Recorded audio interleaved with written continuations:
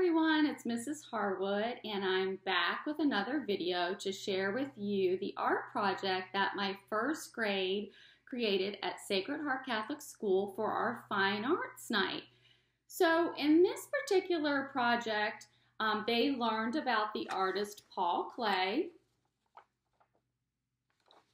And Paul Klee is from the Bauhaus movement. The Bauhaus movement is an art movement that took place from the 1940s to the 1960s. And when I introduced this project, we watched this adorable um, cartoon show called Maddie and Dada. It's on YouTube. And uh, Maddie and Dada go through the their adventures um, kind of through time travel and they meet artists of the past. And so in this particular episode, they met the artist Paul Klee. And so the students watched Maddie and Dada interact with Paul Klee, and they were able to view examples of his work. And then they also learned a little bit about Paul Klee's style. So Paul Klee in the video, um, the students hear that he liked to use balance. So balance was one of our art vocabulary words that we focused on. And in balance, when we talk about balance in art, um, it can mean something that is symmetrical, like this image right here. So, you know, both sides mirror one another. Okay, so if we folded this in half, they would meet. But then balance can also mean in art, if something's happening on one side, there's something happening on the other side, but it doesn't mean that they have to mirror one another. They don't have to be symmetrical. So in art, Balance does not mean symmetrical. It just means if something's happening on one side, there's something happening over here to balance them out, okay? But they're not necessarily symmetrical. So the students learned about that. The students used soft pastel to create their art. I've got some soft pastels right here. And soft pastels are basically like a chalk. Um, they give off a lot of dust, so the art room is extremely messy when we're working with this because um, there's dust kind of flying everywhere. Um, and the students have uh, a lot of blending ability with soft pastels. That's one of the reasons why I like using soft pastels. Um, plus, the students have a lot of control over them because they're rather small. A lot of times, the ones that we have in class, I'll have them um, break them in half. These are actually kind of hard to break in half, um, but the ones in class are very soft. And so we can break them right in half, and it just allows the students to work uh, re- in really small spaces and have a lot of extra control over um, their medium. Um, soft pastels have great blending ability, so the students had an opportunity to uh, basically make new colors, which is always um, a pleasant surprise. And once they start making new colors, they, they become um, intrigued and want to keep making new colors over and over and over. So um, they had the opportunity to work with soft pastels.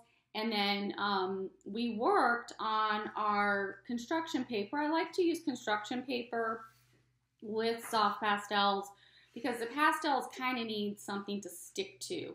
And so the soft pastels, um, especially, um, they give off a lot of dust. And so the students were instructed to color parts of their paper. And then I always say push the pastel dust into the paper. So they're, they're rubbing it into the paper. But if the paper's too silky smooth, it, there's nowhere for the pastel to go. There's nothing for it to stick to. So a nice, you know, medium grade of construction paper has a, a really nice tooth to it. And so it, it, allows the pastel to kind of seep into um, the fibers of the paper. So we worked on 12 by 18 paper. And um, throughout the project, um, as we start setting up our paper, we watched a video um, by Deep Space Sparkle. And in this particular lesson with the um, Klee's cats, she, um, Patty at Deep Space, Deep Space Sparkle, actually shows this, the children step by step how to draw the cat and how um, how to use up the majority of the space. Because a lot of times when we're working on paper this big, the students draw really small. And so we were instructed to fold our paper in half and then open it back up. And then we kind of worked with one section at a time. Okay, so we drew something here and then we drew something here. So we broke the drawing up into very small, manageable chunks. And then we also did the same when it was time to color. When, when young students are looking at a piece of paper this big, it can kind of become overwhelming and you don't really know where to start. So I always tell the students, and you'll see in their images in just a minute, think about everything you've drawn as a different section and work on one section at a time. And especially with pastels, we want to color at the top of the page and then work our way down. That way we're not dragging our arm through our pastel. So you, you always want to work from the top of the page and then color down.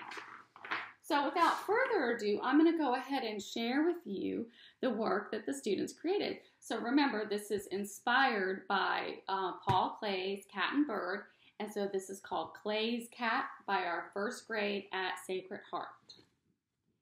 The first one up is Camden.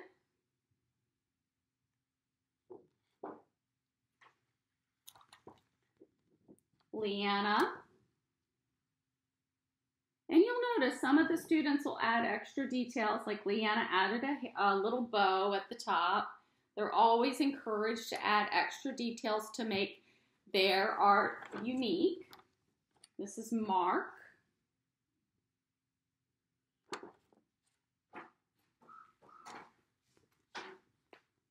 Adeline.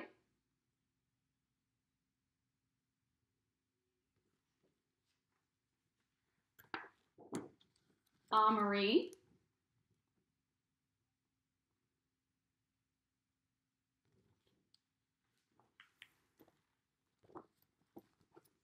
Robin.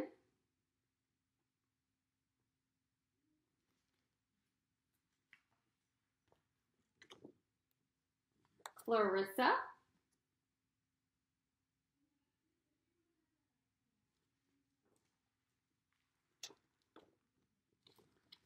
Bryson.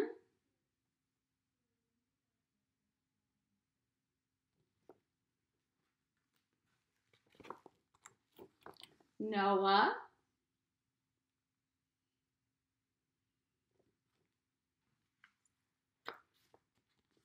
Lexi.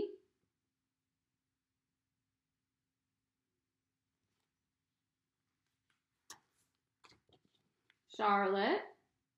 You can see she added a little extra detail as well with the crown. Kind of a little starburst background. Selena.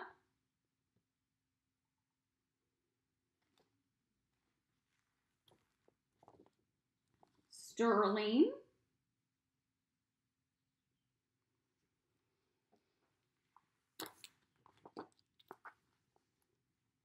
Annie.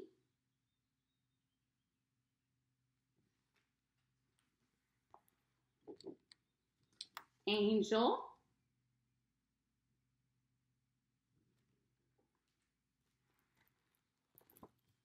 Aniston.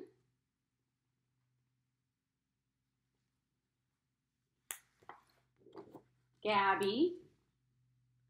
She gave her cat a little tuxedo.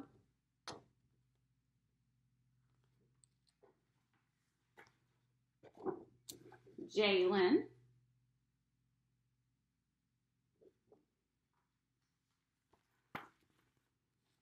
Ryan. Kind of has that red, white, and blue theme. Pierre. Also another red, white, and blue theme.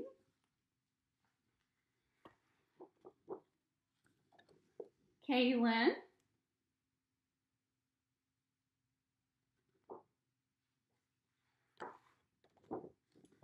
Zoe. Oops.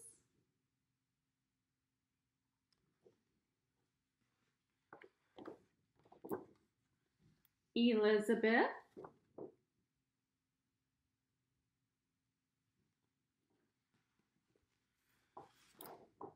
and Jackson.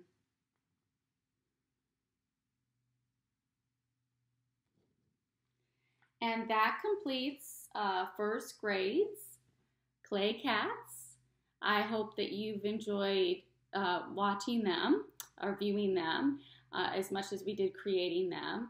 And I hope everybody is safe and healthy. And I will be seeing you guys very soon in our next video. Have a good day.